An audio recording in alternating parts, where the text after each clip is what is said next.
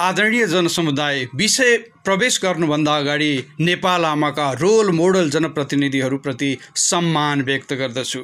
अब विषय प्रवेश। नमस्कार म गङ्गा प्रसाद भेटवाल। आगामी मङ्सिर चार गते हुने आम निर्वाचनमा प्रतिनिधि सभाको लागि स्वतन्त्र उम्मेदवारी काठमाडौँ क्षेत्र नम्बर दसबाट घोषणा गर्दै यहाँहरू समक्ष उपस्थित भएको छु। निश्चय पनि यो आम निर्वाचनलाई हामीले विभिन्न कोणबाट हेरिरहेका छौँ। राजनीति दिन प्रतिदिन प्रदूषित हुँदै गइरहेको छ। पैसाको खेलमा यो डुबिरहेको छ। यो एङ्गलबाट पनि हामी कम से कम कस्टमा राजनीतिक मुद्दाहरूलाई आम जनसमुदायको बिचमा लिएर अगाडि आइरहेका छौँ। हामीले आम निर्वाचनमा लोक संस्कृतिको मुद्दालाई जोरदार रूपले उठाइरहेका छौँ। नेपाली लोक संस्कृति भनेको हाम्रो पहिचान हो। यहाँका मठ मन्दिर गुम्बा तीर्थस्थलहरूको पहिचानसँगै हाम्रो पहिचान जोडिएको छ।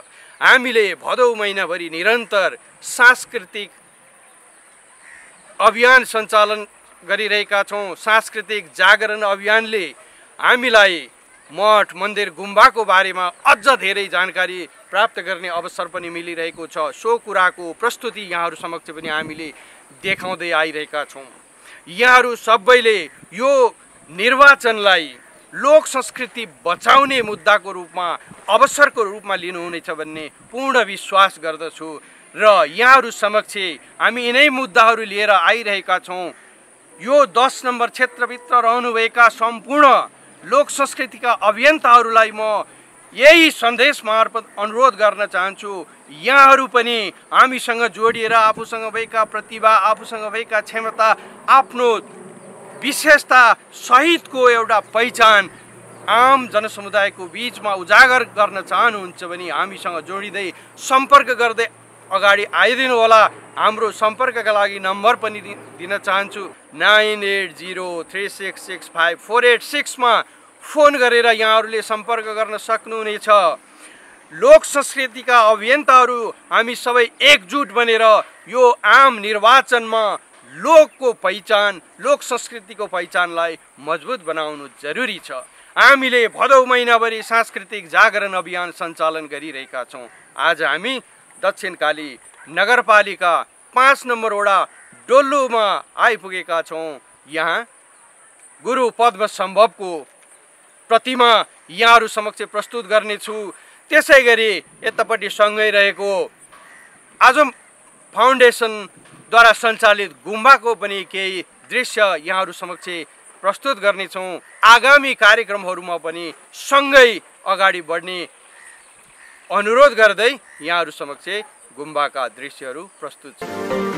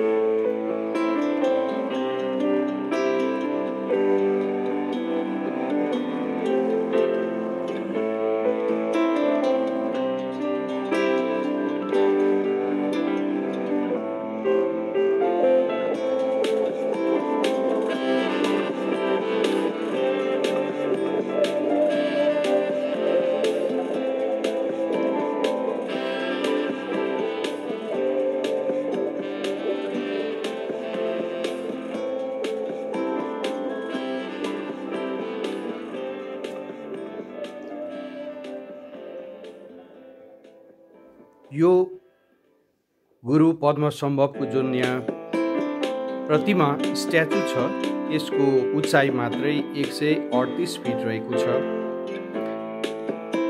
दक्षिणकाली पाँच नम्बर वडाकै यो आकर्षक गन्तव्य मानिन्छ।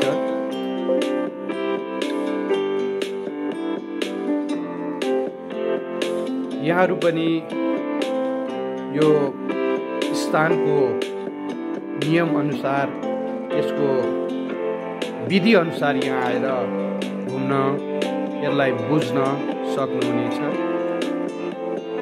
काठमाडौँ दस नम्बर क्षेत्रभित्र यस्तै प्रकारका धेरै मठ मन्दिर गुम्बा तीर्थस्थलहरू रहेका छन्।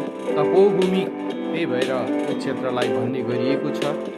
हामीले भदौ महिनाभरि यसै गरी सम्भव भएसम्म प्रतिनिधिमूलक ढङ्गले यस क्षेत्रका धार्मिक स्थलहरूको जानकारी प्रस्तुति यहाँहरू समक्ष राख्ने नै छौँ।